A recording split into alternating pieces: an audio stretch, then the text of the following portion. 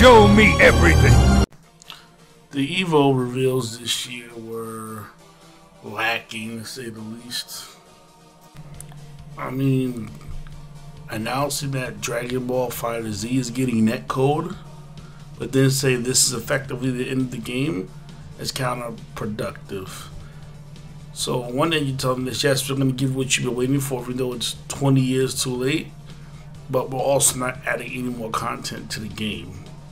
So I guess the plan is to hope that people are going to buy the game. Even the world tour loses significance because it, it's officially the end of DBZ.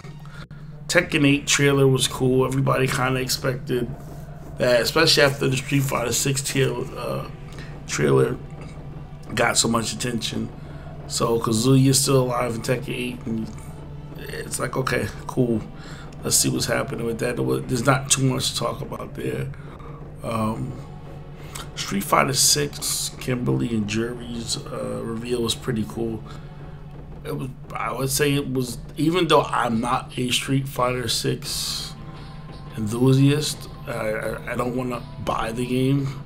Uh, if the animation quality keeps going the way it currently is, uh, it's definitely looking more and more inviting. I think Kimberly is a really unique, cool looking character. And of course, Juri is Juri, wicked as ever. Um, Bridget for Guilty Gear was just kind of eh. I mean, it's very Guilty Gear for, you know, the hardcore Guilty Gear fan. I, I, I played in the original game. I played the original game. I think it was for PlayStation 2 that Bridget came out in, but um, I mean people were hyped for it, but it's not really. and as quickly as they released the guy, the characters already ready. I think Arc System, yeah, they wanted to surprise us. They didn't want to give us Slayer. They didn't want to give us Ky Kiske. He's probably coming later.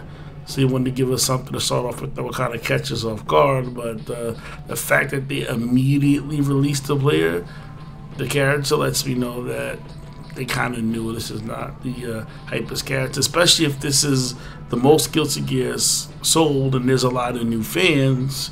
Uh, I don't think Bridget hits so wide audience, but then again, you know, because it's niche and they want to keep their niche audience. Thought the idea was to grow.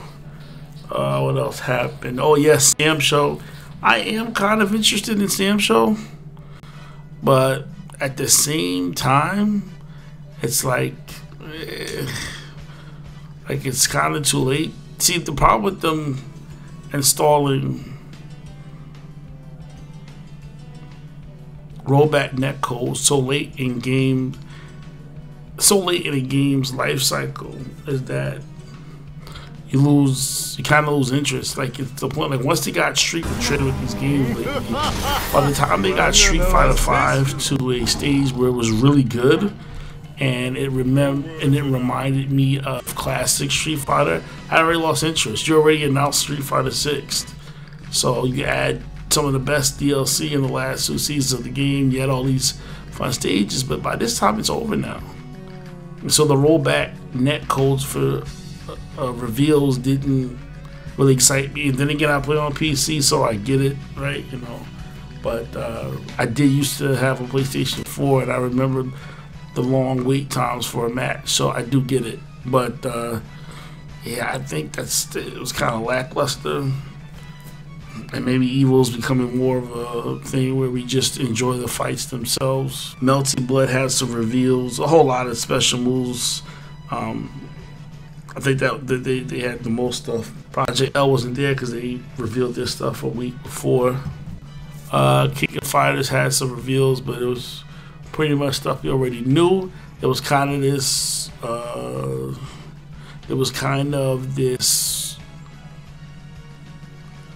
suggestion that Capcom and King of Fighters might be coming back together. They showed pictures of it, but I don't think anything's coming of it. I'm not gonna get my hopes too high there. Anyway, that's all.